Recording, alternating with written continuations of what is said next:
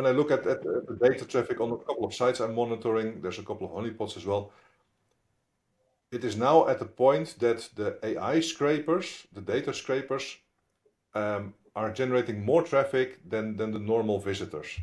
And, and, and this is, uh, I have a couple of pretty high traffic sites, and, and scrapers are, are really like every moment of the day, all the time.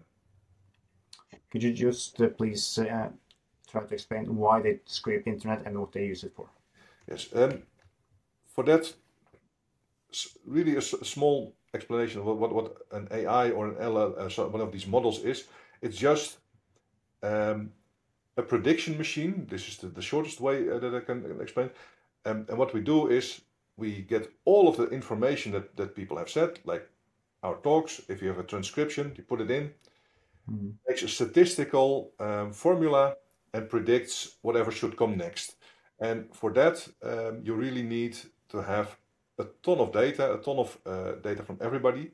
And actually, we are at the point, the reason why we ha now have this AI is because we have created a perfect storm um, to actually uh, be able to build it. First, we had the really boom, the big boom about uh, uh gaming, uh, graphic mm. consoles, PC gamers. The graphics cards became more powerful. I'll explain in a bit why that's impo important.